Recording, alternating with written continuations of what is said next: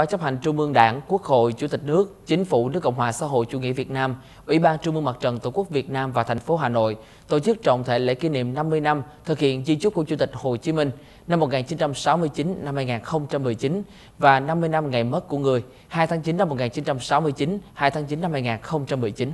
Tham dự lễ kỷ niệm có Tổng Bí thư, Chủ tịch nước Nguyễn Phú Trọng, Thủ tướng Chính phủ Nguyễn Xuân Phúc, Chủ tịch Quốc hội Nguyễn Thị Kim Ngân, Thường trực Ban Bí thư Trần Quốc Vượng và các nguyên lãnh đạo Đảng, Nhà nước, các ủy viên Bộ Chính trị, Ban Bí thư, Ủy viên Trung ương Đảng.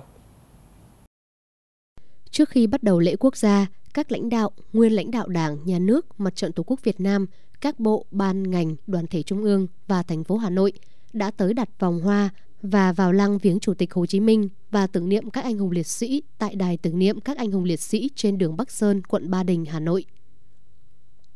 Trong diễn văn 50 năm thực hiện di trúc của Chủ tịch Hồ Chí Minh và kỷ niệm 50 năm ngày mất của người, Tổng Bí thư Chủ tịch nước Nguyễn Phú Trọng nhấn mạnh, trước lúc đi xa, người đã để lại cho toàn Đảng, toàn dân và toàn quân ta bản di trúc thiêng liêng, một văn kiện lịch sử cực kỳ quan trọng, kết tinh tư tưởng văn hóa, trí tuệ, đạo đức và tâm hồn cao đẹp của một bậc vĩ nhân. Chỉ với hơn 1.000 từ vô cùng ngắn gọn, di chúc của người đã truyền cho toàn đảng, toàn dân và toàn quân ta ý chí quyết tâm sắt đá, niềm tin mãnh liệt vào sức mạnh vĩ đại của dân tộc Việt Nam, sức mạnh của chính nghĩa và chân lý, không có gì quý hơn độc lập tự do, sức mạnh của chủ nghĩa yêu nước và chủ nghĩa anh hùng cách mạng Việt Nam.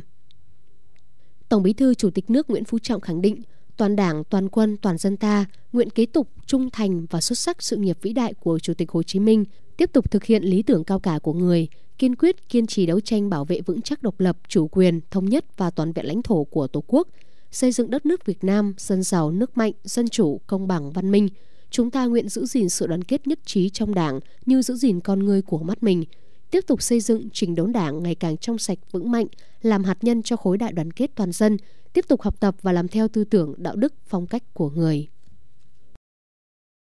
Tổng Bí thư Chủ tịch nước Nguyễn Phú Trọng khẳng định toàn đảng, toàn quân, toàn dân ta nguyện kế tục trung thành và xuất sắc sự nghiệp vĩ đại của Chủ tịch Hồ Chí Minh, tiếp tục thực hiện lý tưởng cao cả của người, kiên quyết kiên trì đấu tranh bảo vệ vững chắc độc lập, chủ quyền, thống nhất và toàn vẹn lãnh thổ của Tổ quốc, xây dựng đất nước Việt Nam dân giàu, nước mạnh, dân chủ, công bằng, văn minh.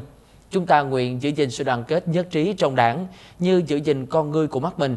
tiếp tục xây dựng chỉnh đốn đảng ngày càng trong sạch, vững mạnh, làm hạt nhân cho khối đại đoàn kết toàn dân, tiếp tục học tập và làm theo tư tưởng đạo đức phong cách của người.